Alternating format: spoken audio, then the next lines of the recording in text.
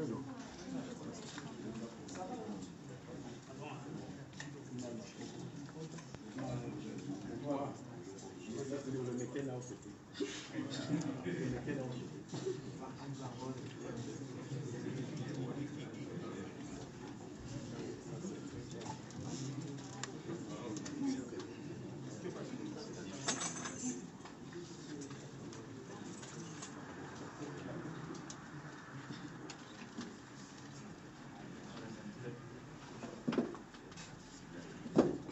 Déclaration du ministre de l'administration territoriale sur les activités des organisations non gouvernementales, les associations de la société civile et les associations des droits de l'homme au Cameroun.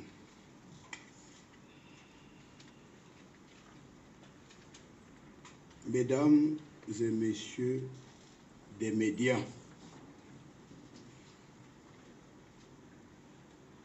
dans le souci de promouvoir un développement de proximité conforme aux aspirations des populations camerounaises et de leur permettre de bénéficier de l'appui de nos partenaires, le gouvernement, à travers le ministère de l'administration territoriale, accorde des autorisations aux ONG, aux associations de la société civile et des droits de l'homme pour exercer légalement leurs activités. Ces structures ont des bureaux ou des représentants dans certaines régions de notre pays. De prime abord, l'on pense que les ONG et les associations sont des organismes de bienfaisance. Elles distribuent des denrées alimentaires aux personnes vulnérables par-ci, administrent des soins de santé aux personnes en détresse par-là.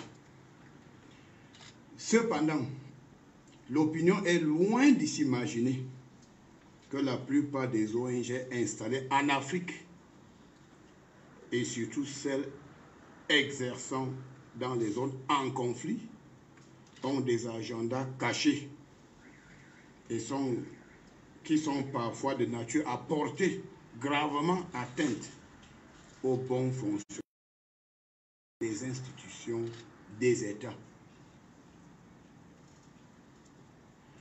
C'est ainsi que l'attention du ministre de l'administration territoriale a été attirée sur les dérapages et les manœuvres obscures récurrentes de certains ONG et associations de droits de l'homme installées au Cameroun et à l'étranger. Sur la conduite éclairée de son Excellence M.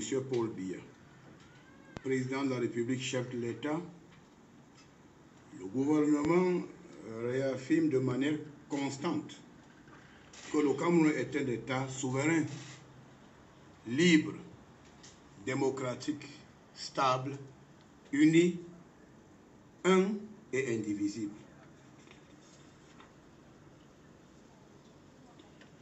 Le chef de l'État, avec méthode et détermination, ne ménage aucun effort pour consolider la paix et l'unité nationale et pour renforcer la coexistence pacifique et harmonieuse entre toutes les composantes sociologiques de notre pays.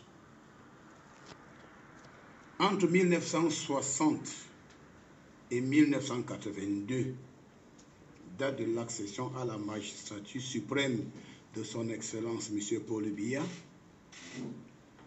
à peine cinq ONG internationales, trois ONG nationales et deux associations de la société civile exerçaient leurs activités au Cameroun. À la faveur de lois sur les libertés publiques adoptées par l'Assemblée nationale et promulguées par le président de la République en 1990, le Cameroun compte aujourd'hui une quarantaine d'ONG internationales, de nombreuses ONG nationales, des associations de la société civile et celles qui sont spécialisées dans la promotion des droits humains. Son Excellence, M. Paul Biya, a donc ouvert largement le Cameroun au regard du monde. Le gouvernement camerounais soutient les ONG et les associations nationales ou internationales à condition qu'elles respectent le cadre légal tracé. Mesdames et messieurs des médias, avant de poursuivre mon exposé, euh, permettez-moi de rappeler le cadre légal qui encadre les activités des ONG, des associations de la société civile et des droits de l'homme au Cameroun. Selon les dispositions de l'article 4 de la loi numéro 90-53 du 19 décembre 1990 portant sur la liberté d'association, je cite, les associations fondées sur une cause ou en vue d'un objet contraire à la Constitution, aux lois et aux bonnes mœurs, ainsi que celles qui auraient pour but de porter atteinte notamment à la sécurité et à l'intégrité territoriale, à l'unité nationale, à l'intégrité nationale et à la forme républicaine de l'État sont nuls et de nul effet. Fin de citation. S'agissant des ONG, elles sont régies par la loi numéro 99 bar 014 du 22 décembre 1999. Les agréments des ONG, comme ceux des associations, sont accordés par le ministre de l'administration territoriale, qui est aussi chargé du suivi et de l'encadrement de ces structures. En application des dispositions des articles 13, alinéa 2 de la loi numéro 90-53 du 19 décembre 1990 et 22 alinéa 2 de la loi numéro 99-014 du 22 décembre 1999, le ministre de l'administration territoriale peut par arrêté dissoudre toute association ou ONG qui s'écarte de son objectif et dont les activités portent gravement atteinte à l'ordre public et à la sécurité de l'État. Les dispositions légales prévoient également des amendes et des peines d'emprisonnement à l'encontre des responsables et des administrateurs des associations ou des ONG qui s'écartent des dispositions légales. Mesdames et messieurs, c'est avec regret et amertume que je constate que depuis trois ans que durent les troubles dans les régions du nord-ouest et du sud-ouest, plusieurs ONG et associations de la société civile ou des droits de l'homme se sont totalement écartées des objectifs et des missions pour lesquelles elles ont été agréées par le ministre de l'administration territoriale. Bien entendu, quelques ONG et associations des droits de l'homme s'efforcent de mener leurs activités auprès de nos populations dans le respect des textes en vigueur. Elles sont à encourager. Par contre, de nombreuses ONG, aux ordres des ennemis de notre pays, véhiculent régulièrement des informations complètement fausses et erronées sur la gestion de la crise par le gouvernement dans les régions suscitées. Bien plus, elles sont devenues des officines de fabrication de faux rapports dont le but est de tenir la noble image de nos forces de défense et de sécurité. Le ministre de l'administration territoriale est en mesure d'affirmer que ces ONG aux ordres ont reçu plus de 5 milliards de francs CFA des réseaux occultes à l'intérieur et à l'extérieur du Cameroun pour, un, déstabiliser les institutions républicaines. Deux, diffuser régulièrement dans certains médias à leur solde et dans les réseaux sociaux des informations tronquées pour discréditer la gestion de la crise dans les régions du nord-ouest et du sud-ouest par le gouvernement. 3. Démontrer que le Cameroun ne serait pas en mesure de gérer les déplacés internes. 4. Prouver par tous les moyens que la crise dans les deux régions s'enlise. 5. Montrer à travers euh, des faux rapports que l'armée camerounaise poserait des actes contre des populations civiles. Cet état de choses est inacceptable. Gouvernement condamne ce comportement irresponsable de certains ONG qui volontairement masquent ou minimisent les nombreuses atrocités commises par les terroristes dans les régions du nord-ouest et du sud-ouest. Le ministre de l'administration territoriale relève que les ONG Human Rights Watch, Amnesty International, International Crisis Group, OCHA, REDAC et bien d'autres sont engagés dans une démarche conspirationniste contre le Cameroun et contre les forces de défense et de sécurité. Depuis bientôt trois ans,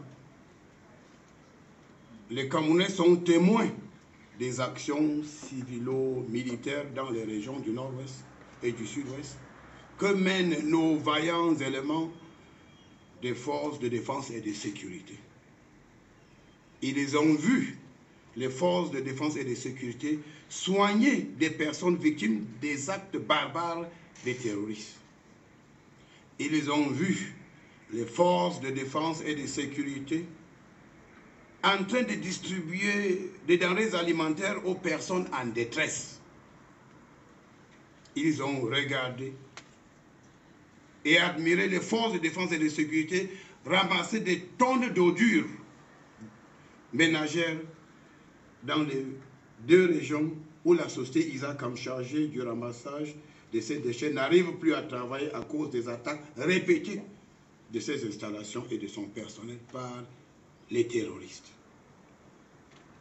Les Camerounais ont salué l'engagement des militaires et des gendarmes à dispenser des cours dans les écoles et les lycées, dans les localités où les anciens ont été décapités par les terroristes. Étonnamment, les ONG aux ordres, qui sont aussi au courant de toutes ces actions humanitaires de nos forces de défense et de sécurité, n'en font jamais cas publiquement et ne les mentionnent jamais ou très peu dans leur rapport à charge. Mesdames et messieurs des médias, à chaque fois que le Cameroun a été injustement indexé par les ONG aux ordres, le gouvernement a réagi pour établir la vérité, soit à travers le ministre de la Communication, porte-parole du gouvernement, et le cas échéant, le ministre délégué à la présidence chargée de la défense sur les questions relevant de sa compétence. À son niveau, le ministre de l'administration territoriale a reçu plusieurs chefs de mission diplomatiques et les responsables d'ONG internationales et nationales à qui il a pris la peine de remettre les rapports sur les actions menées par le gouvernement pour résoudre la crise dans les deux régions. J'ai personnellement remis à M. Philippe Bolopion, au cadre de Human Rights Watch, un rapport retraçant les atrocités des terroristes dans les régions du nord-ouest et du sud-ouest. Ce rapport, à l'époque, contenait les détails ci-après. Plus de 300 soldats tués par les terroristes, plus de 280 jeunes filles de moins de 14 ans violées dans les écoles par les terroristes,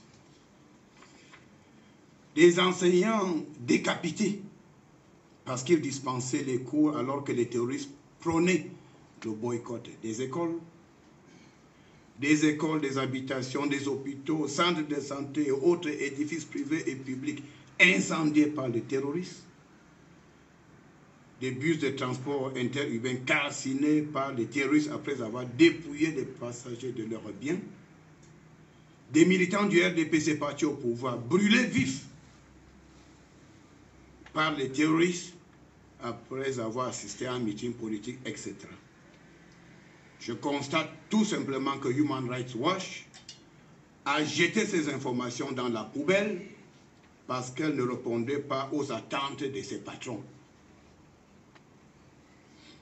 Le, ministère de la Défense a récemment produit un rapport détaillé avec des faits avérés et de vraies images des atrocités commises par les terroristes. J'avoue qu'il faut avoir beaucoup de courage pour regarder ce documentaire produit par la cellule de communication du MINDEF, qui en réalité est une claire illustration des atrocités commises depuis trois ans par les hors-la-loi dans les régions du nord-ouest et du sud-ouest. Évidemment, les ONG aux ordres préfèrent regarder ailleurs. Je voudrais vous annoncer solennellement que le complot contre le Cameroun, entretenu par certains ONG aux ordres, est aujourd'hui éventré. Je leur demande de changer leur démarche partisane et conspirationniste contre le Cameroun avant qu'il ne soit tard.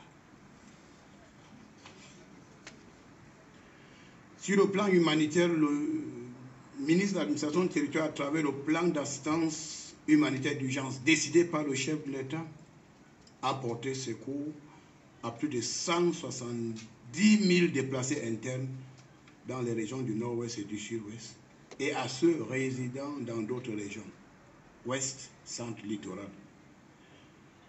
Certains déplacés internes sont déjà rentrés dans leurs localités respectives grâce à la réussite de la mission de sécurisation de deux régions prescrites par le chef d'État, chef des forces armées, à nos forces de défense et de sécurité, qui font un travail louable et apprécié par les populations locales. Certains ONG disent que la crise dans les régions du nord-ouest et du sud-ouest a déjà fait plus de 10 000 morts. C'est complètement ridicule. Qui leur a donné ces chiffres exagérés? D'où tiennent-elles ces informations dénuées de tout fondement? Je voudrais rappeler que la diffusion de fausses nouvelles est une infraction réprimée par le code pénal camerounais. Nous avons par le passé beaucoup couvert les dérapages de certains ONG. Il a été découvert dans les convois humanitaires de certains ONG des armes et des munitions, des téléphones portables, des téléphones satellitaires Turaya et des jumelles destinées aux terroristes. Le gouvernement détient des preuves irréfutables des connivences entre certains ONG et des terroristes dans les régions du nord-ouest et du sud-ouest. Le responsable de OCHA, qui a publié le faux rapport indexant l'armée camerounaise, a été reçu par les autorités administratives de la région du Nord-Ouest. Il a avoué avoir reçu de sa hiérarchie l'instruction de fabriquer ce faux rapport pour tenir l'image de l'armée camerounaise. Il nous est revenu que ce responsable de Ocha est parti précipitamment du Cameroun. S'il n'a rien à se reprocher, pourquoi s'est-il empressé de quitter le Cameroun? C'est parce qu'il veut masquer la vérité. Il est clair que les ONG aux ordres sont dans un vaste complot contre le Cameroun et ont pour cela reçu des fonds importants. Ce complot, je le répète, est aujourd'hui éventré. La démarche conspirationniste de certains ONG contre le peuple camerounais doit s'arrêter. Je voudrais également rappeler aux responsables des ONG et des associations de la société civile et des droits de l'homme qu'ils ont l'obligation de déposer au ministère de l'administration territoriale qui assure leur tutelle le rapport annuel de leurs activités. C'est une obligation légale. Dans leur rapport annuel, ils ont l'obligation de détailler au franc près les fonds reçus chaque année, l'identité de leurs financiers ou donateurs et l'utilisation de ces fonds au Cameroun nous devons aussi connaître les bénéficiaires de leurs actions sur le terrain, qui ne sauraient être des terroristes qui perturbent la vie de nos courageuses populations. Le chef de l'État, son Excellence Paul Biya, dans sa grande magnanimité, a invité tous les terroristes encore en brousse à déposer des armes et d'intégrer des centres DDR. le chef de l'État, père de la nation, a précisé que c'est une porte de sortie honorable pour ceux de nos enfants qui ont été manipulés par des imposteurs et des aventuriers pour prendre les armes contre la patrie. Plus de 300 terroristes arrêtés pour des faits avérés ont été libérés par le chef de l'État. C'est un grand geste d'apaisement. Beaucoup d'anciens combattants qui ont déposé des armes sont dans les centres DDR. Ils ne sont pas en prison, car le Cameroun a le sens de l'honneur. Et la parole du chef de l'État est respectée à la lettre par ses collaborateurs. Au lieu que les ONG continuent de soutenir euh, les terroristes ou de leur porter divers coups, il vaut mieux leur demander de quitter la brousse et de revenir dans la République. L'offre de paix du chef d'État reste toujours d'actualité. Depuis deux ans, le MINA n'a reçu aucun rapport annuel des ONG, y compris celle du système des Nations Unies. Avant de faire des déclarations à la presse, les ONG ont d'abord l'obligation de transmettre annuellement leur rapport d'activité au ministère de l'administration territoriale.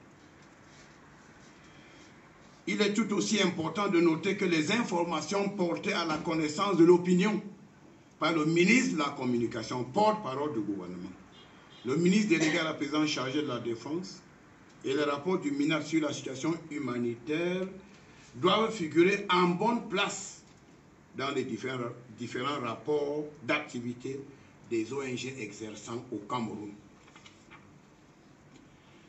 C'est la meilleure façon de donner la bonne information à leurs pays respectifs, à leurs supérieurs, ainsi qu'à l'opinion nationale et internationale.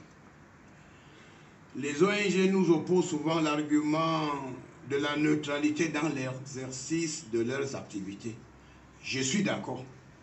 Mais à travers les rapports tronqués de certaines ONG sur le Cameroun, il est loisible de constater que cette neutralité réclamé par certains ONG n'est qu'un leurre. Je voudrais saisir cette occasion pour inviter les médias à cesser d'être relais des rapports erronés contre les forces de défense et de sécurité diffusées par des ONG aux ordres. Pour me faire bien comprendre, je vais employer cette métaphore bien connue. Celui qui vend les œufs ne doit pas chercher la bagarre. Equinox TV, STV, Radio Balafon, le journal Le Jour, pour ne citer que ces médias, sont particulièrement et singulièrement interpellés. Le Cameroun n'a pas besoin d'une radio mille collines. Les médias n'ont pas pour vocation de jeter de l'huile sur le feu. En matière de droit, le voleur et les receleurs sont tous condamnables. À bon entendeur, salut. Avant de relayer une information, il faut tenir compte de sa véracité. Vous êtes les professionnels, vous devez le savoir. Mais lorsqu'un média reçoit des fonds d'une ONG aux ordres, il est obligé de diffuser des affabulations dont l'objectif est de discréditer l'action gouvernementale. Nous n'allons plus tolérer cet état de choses. Après le double scrutin du 9 février 2020, certains ONG, sans apporter la moindre preuve, ont affirmé sur les télévisions et radios privées que les élections au Cameroun sont une farce, une mascarade, car le parti au pouvoir a verrouillé le processus pour tout rafler à l'Assemblée nationale et dans les municipalités. Ces ONG sont loin de la vérité, car toute personne de bonne foi reconnaît que le double scrutin du 9 février 2020 a été libre, crédible et transparent. D'ailleurs, les élections dans certaines parties ont été annulées et le chef de l'État, respectueux de la légalité républicaine, vient de convoquer à nouveau le corps électoral pour le 22 mars 2020. Une ONG a même dit que le gouvernement camerounais pratique la démocratie d'exclusion elle soutenait que le gouvernement avait tout fait pour écarter certains acteurs majeurs du jeu politique national. Pour mémoire, plusieurs militants du RDP avaient souhaité la tenue des élections des conseils régionaux avec l'ancien cadre politique. En effet, avec 305 communes issues des élections municipales de 2013, le RDP s'était quasiment assuré de rafler la mise si les élections des conseils régionaux étaient organisées en 2019. Pour prouver que le Cameroun n'est pas dans la logique de ce que certains ONG qualifient de démocratie d'exclusion, le président de la République, chef de l'État, son Excellence Paul Biya, seul juge de l'opportunité, a opté pour l'organisation de nouvelles élections législatives et municipales avant l'élection des conseillers régionaux. Ceci dans le souci de donner la chance aux nouveaux venus euh, dans l'arène politique de s'exprimer. Après le double scrutin du 9 février 2020, on a vu émerger de nouveaux visages politiques qui sont présents à l'Assemblée nationale et dans les municipalités. Je peux citer Cabral Libi, Paul-Éric King, Pierre Kwebo, Serge Espoir Matomba, euh, Pasteur Franklin Afangui etc. Paradoxalement, c'est lui pour qui les chancelleries occidentales faisaient des démarches pour obtenir la libération et celle des membres de son état-major, a décidé tout seul d'être non partant dans le processus électoral. À qui la faute? Il n'y a donc pas de démocratie d'exclusion au Cameroun, comme prétendent certains ONG, mais des leaders de petits partis politiques paraphraser le chef de l'État, qui s'auto-exclut du processus électoral. Mesdames et messieurs, dans la nuit de samedi 7 au dimanche 8 mars 2020, des terroristes ont attaqué le poste de police et la brigade de gendarmerie du chef-lieu de l'arrondissement de Galim département de Bamboutou, région de l'Ouest. Deux policiers, deux femmes gendarmes, quatre civils ont été froidement abattus par ces terroristes. Pendant le défilé du 8 mars à Bamenda, des terroristes ont planifié et exécuté un attentat pour tuer euh, les femmes en pleine cérémonie. Au cours de cet attentat, sept braves éléments de nos forces de défense et de sécurité qui assuraient la sécurité des défilants ont été grèvement blessés et un est décédé. Ces attentats ont été revendiqués par deux terroristes bien connus, Ayabacho et Tapa Aevo, qui se promènent et vivent dans une impunité totale à l'étranger et de surcroît dans certains pays amis. Les ONG aux ordres ont reçu des images horribles de l'exécution de la gardienne de prison, Madame Florence Ayafo, par des terroristes dans son village après un enterrement. Elle a été décapitée et dépiécée par ces barbares d'une autre époque. Évidemment, les ONG aux ordres et les soi-disant associations des droits de l'homme n'ont exprimé aucun signe de compassion et encore moins de condamnation. Où est la condamnation d'Ocha? Où est la condamnation du Human Rights Watch face à ces atrocités? Où est la condamnation d'Amnesty International? Où est la condamnation d'International Crisis Group? Où est la condamnation de REDA? Où est cette communauté internationale donneuse de leçons et à mémoire très sélectif Quelle est cette attitude à géométrie variable? Le silence coupable des ONG aux ordres face à toutes ces atrocités contre nos voyants forces de défense et de sécurité et contre les populations civiles est une preuve irréfutable de la caution qu'elle accorde aux terroristes. Les responsables des ONG aux ordres, même à la retraite, n'échapperont pas à la justice divine et porteront à jamais sur leur conscience les éléments de nos forces de défense et de sécurité fortement abattus par les terroristes. Ces jeunes filles de 15 à 16 ans violées, torturées et tuées par des terroristes, ainsi que toutes celles et tous ceux qui sont handicapés à vie du fait des atrocités dans les régions du nord-ouest et du sud-ouest. Ces actes barbares pour lesquels certains ONG ont été payés pour se taire, ou à la limite tout minimiser, resteront à jamais gravés dans la mémoire collective.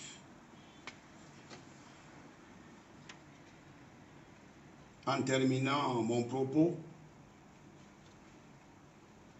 je les invite tous à être des ONG et des associations responsables, objectives, impartiales et non des ONG subsidiaires je note que tous les rapports de nos activités remis à la coordinatrice du système des Nations Unies au Cameroun n'ont jamais été publiés. Bien au contraire, nos données sont contestées et les chiffres erronés publiés par des ONG aux ordres font le tour du monde. Il faut changer cette façon de faire. J'ose croire que ma déclaration de ce jour constitue un nouveau départ et que chacun va travailler désormais dans le strict respect des objectifs déclarés et non avec des agendas cachés qui sont voués à l'échec. Je donne à chaque responsable d'ONG 60 jours pour déposer dans mes services, notamment à la direction des affaires politiques, les rapports d'activité des exercices 2017-2018, 2018 2019. Je vous remercie de votre aimable attention. Je, poursuis avec la version anglaise.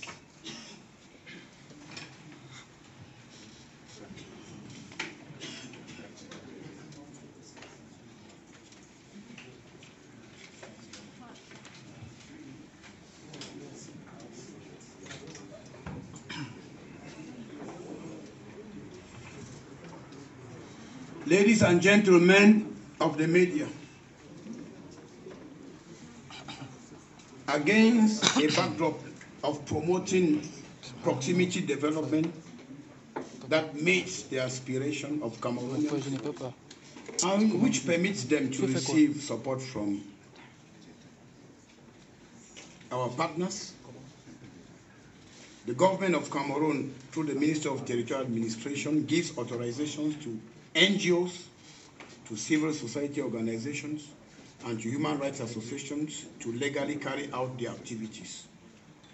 These structures have offices and representatives in certain regions of our country. Generally, we feel that NGOs and these associations are in Cameroon for the well-being of the population. They give food items to vulnerable people and give health care to people in distress.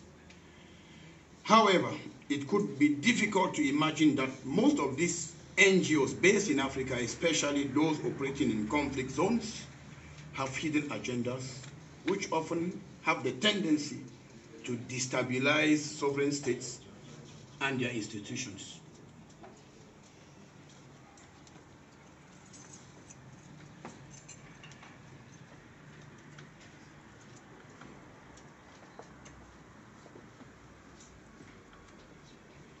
Ladies and gentlemen of the media,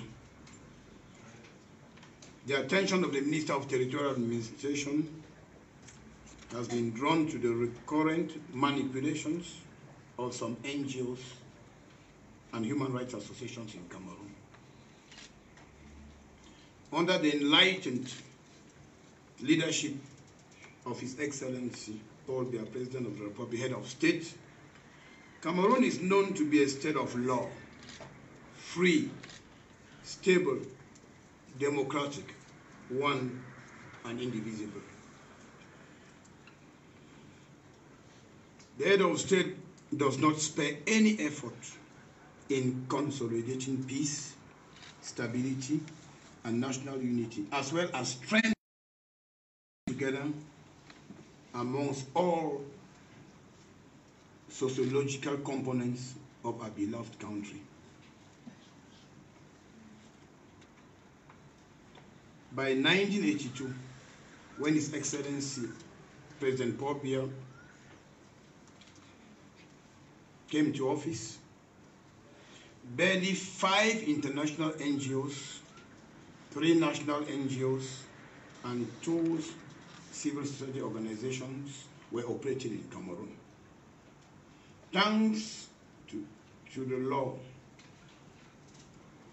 on freedom of associations adopted by the National Assembly and promulgated into law by President Paul Biya in 1990, Cameroon today counts over 40 international NGOs, several national NGOs, civil society organizations, and human rights associations. His Excellency President Paul Biya, as you can see, has opened Cameroon widely to the rest of the world. The government of Cameroon supports NGOs, national and international associations, on condition that they respect the legal provisions put in place. Ladies and gentlemen, before I continue, let me remind you of the legal instruments guiding activities of NGOs, civil society organizations, and human rights associations in the country. According to Section 4 of Law Number 90-53 of 19 December 1990 on the freedom of association, I quote, associations build on something else or with an objective contrary to the Constitution, as well as those that will jeopardize the security and territorial integrity, national unity, and the Republican form of the state are null and void. End of quote. Concerning NGOs, they are guided by law number 99 slash 014 of the 22nd of December 1999. Authorizations of NGOs, likewise those of uh, associations, are issued by the Minister of Territorial Administration, who is also vested with the powers to ensure the follow-up of these structures.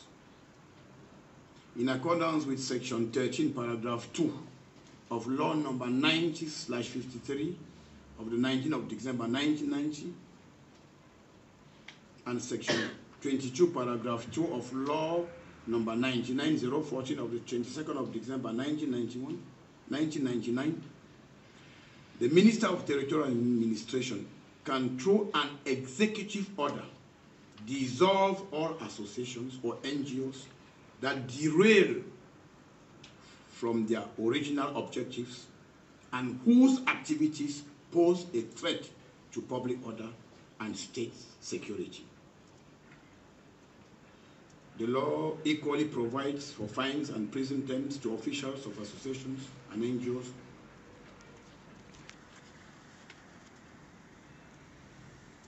who do not respect the legal provisions. Ladies and gentlemen of the media, it is regrettable that for the past three years of political, upheavals in the Northwest and Southwest regions, some NGOs, civil society organizations, and human rights organizations have completely derailed from the objectives for which they were authorized by the Minister of Territorial Administration. I must underline that there are some NGOs and associations that have kept to their objectives and respect the laws of the land. We encourage them to continue to be law-abiding. However, we have noticed with dismay that many NGOs have clearly revealed themselves as enemies of our country, regularly propagating information that is completely false on the management of the crisis by our government in the above mentioned regions. Moreover, they have become laboratories of fake reports with the sole objective to tarnish the image of the country's defense and security forces. The Minister of Territorial Administration affirms here that these NGOs have received over 5 billion CFA francs from dubious networks within and out of the country to one, destabilize state institutions, two, regularly publish through certain media and social media fabricated information to discredit the efficient management of the crisis in the Northwest and Southwest regions by the government. Three, give the impression that Cameroon is not managing internally displaced persons properly. Four, demonstrate by all means that the crisis in the two regions is going from bad to worse. Five, show through fake reports that the Cameroonian army is carrying out acts against civilian population. This is unacceptable. These delegated NGOs and human rights associations must readjust before it's too late. The government of Cameroon vehemently condemns this irresponsible behavior of teleguided NGOs who deliberately minimize the numerous atrocities committed by terrorists in the northwest and southwest regions. Amongst the teleguided NGOs paid to tarnish the image of Cameroon, publish fake reports against the National Defense Forces. The Minister of Territorial Administration can cite Human Rights Watch, Amnesty International, International Crisis Group, OCHA, REDA, and others. For three years now, Cameroonians can bear testimony of, many civilian military actions in the northwest and southwest regions undertaken by our brave We have all seen defense and security forces giving health care to the population, victim of barbaric actions of the terrorists. We have seen our forces distributing food items to those in distress, and even cleaning the streets of huge garbage that Isakam would have cleaned if not of threats on their lives by the terrorists. Cameroonians have saluted the efforts of the military and the gendarmes officials who have gone as far as teaching in some schools in localities where teachers have been brutalized and killed by the terrorists. Curiously, these NGOs are not unaware of these humanitarian activities of our defense and security forces. But because of their hidden agenda, they have decided never to make mention of them in their reports. Ladies and gentlemen of the media, each time Cameroon is wrongly accused by teleguided NGOs, the government has always reacted by giving true facts, either through government spokesperson, the Minister of Communications, or the Minister delegated at the President in charge of defense when it concerns issues under his competence. At this level, the Minister of Territorial Administration has received several heads of diplomatic missions and officials of international NGOs to whom he gave reports on concrete actions carried out by government to resolve the upheavals in the northwest and southwest regions. I personally gave to Mr. Philippe Bolopion, senior official of Human Rights Watch, a report detailing the atrocities of the terrorists in the northwest and southwest regions. This report at that time had the following details. Over 300 soldiers killed by the terrorists, over 280 young girls below 14 years raped by the terrorists in schools, teachers wounded and killed for teaching in violation of terrorist so-called school boycott, schools, houses, hospitals, health centers, and other public and private structures vandalized and burnt by the terrorists, interurban transport buses burnt down by the terrorists after depriving the passengers of their valuable belongings, supporters of the ruling CPDM party burnt alive by the terrorists for attending political meetings and rallies. Despite these atrocities committed by terrorists in the northwest and southwest regions, Human Rights Watch and others deliberately decided to put this information in the dustbin as it does not meet the aspirations of the hierarchy. The Minister of Defense recently produced a detailed report with verified and verifiable facts with images on the atrocities committed by the terrorists.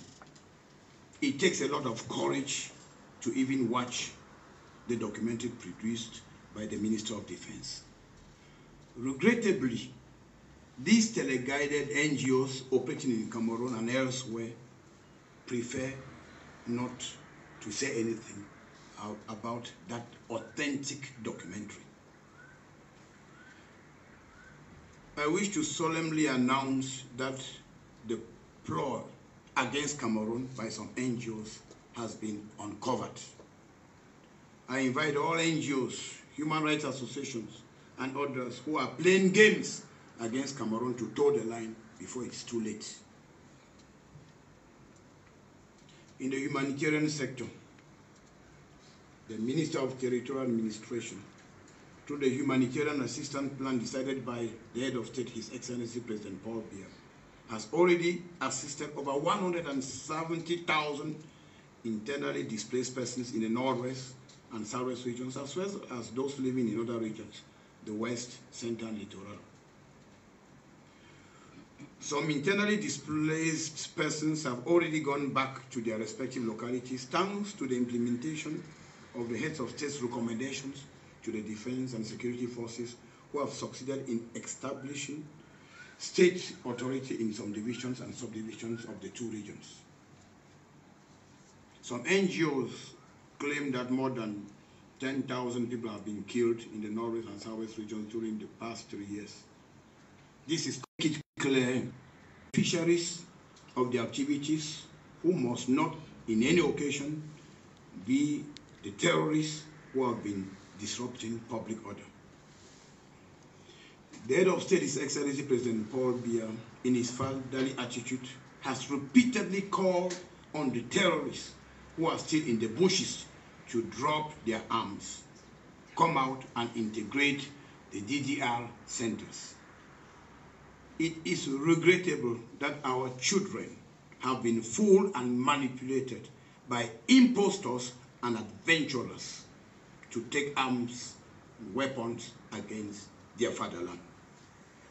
By creating the DDR centers, the head of state, His Excellency President Paul Biya, has given them the opportunity to come back like the prodigal son. More than 300 detainees linked with the social unrest in the northwest and southwest regions have been released by President Paul Biya. So many ex-fighters have dropped their weapons and are in the DDR centers. They are not in prison because Cameroon is a state of law and the prescriptions of the head of state are respected to the letter. Instead of continuously supporting the terrorists, the NGOs should rather encourage them to leave the bushes and come back to inside the republic. For the past two years, the Minister of Territorial Administration has not received any report from NGOs, even those from the UN system.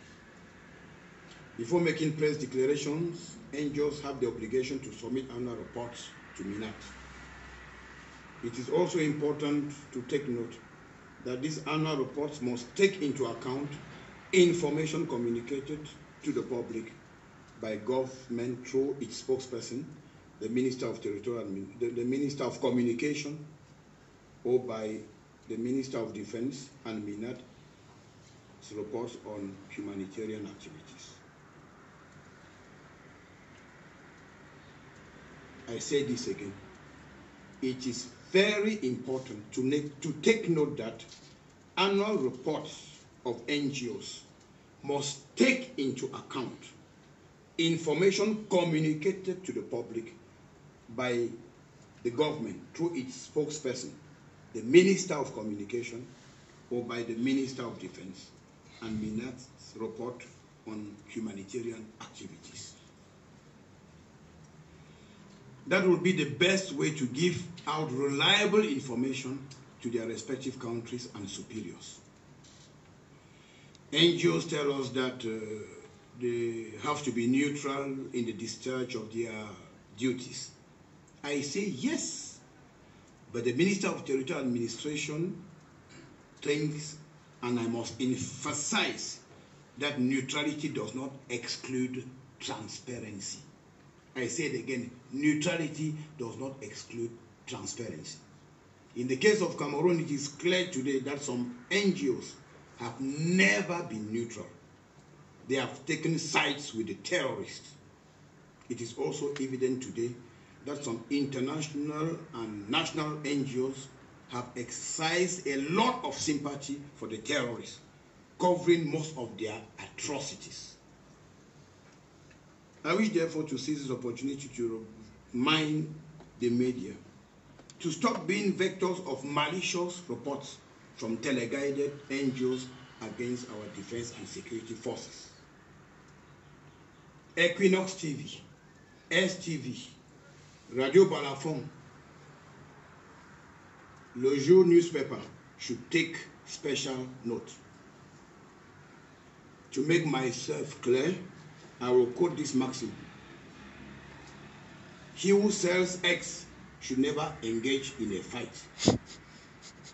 Cameroon does not need to, to a remake of Radio Milkoni are far from the truth because any objective person will agree that elections were free, credible, and transparent. Some of the elections were even annulled in some constituencies in the northwest and southwest region. President Paul Biya, who respects state institutions and the law, has convened a new electorate on the 22nd of March 2020 for the run. That is clear proof that Cameroon is a state of law. And President Paul Biya is out to promote the respect of law. To demonstrate that Cameroon does not operate in the way some of the NGOs portray and some diplomats, the President of the Republic has always decided for general interest. Let me remind here that many members of the CPDM were in favor of holding regional elections with the old political map. The CPDM would have been sure to largely carry the day with 305 councils from the 2013 elections. I don't know if the situation is different today. But to demonstrate that Cameroon does not operate the way some of these NGOs or diplomats portray, President Paul Biya, who puts general interest above partisan politics, opted for new legislative and municipal elections before putting in place the regional councils. After the twin elections of 9 February 2020, we also the new political map of Cameroon with new faces who will be present in the National Assembly and in councils, notably Cabral Libi, Paul Rikinge, Paul, uh, Pierre Kwemo, Serge Espoir Matomba, Pastor Franklin Afani, just to name a few. Paradoxically, the political, the political actor whose liberation was much clamored for by diplomats decided to boycott the electoral process. Whose fault? There is thus no democracy of, ex democracy of exclusion in Cameroon, but rather leaders of small political parties who exclude themselves from the political arena. On Saturday, 7 breaking Sunday, 8 March 2020, terrorists attacked a police station and gendarmerie brigade in Galim, Bamboto's division, West region, killing two policemen, two female gendarmes, and four civilians. On March 8, 2020, seven of our brave security and defense forces assigned to protect women during the International Women's Day activities in Bamenda were seriously injured in a planned terrorist attack targeting the women. Two well-known terrorists, Ayabacho and Tapang Evo, living in total impunity abroad and in friendly countries, have claimed responsibility for these attacks. Teleguided NGOs saw the horrible images of the brutal assassination of a wardress, Mrs. Florence Ayafo, in her village of birth by the terrorists as she went for a burial. As usual, they did not attract any compassion or condemnation from as usual, that did not attract any compassion or condemn, condemnation from teleguided NGOs and the so-called human rights associations. Then I'll ask the simple question, where is OCHA? Where is Human Rights Watch? Where is International Crisis Group? Where are the international uh, community lesson givers when it has to do with atrocities committed, committed by the terrorists in the Northwest and Southwest regions? 2018, 2018, 2019. Thank you for your kind attention.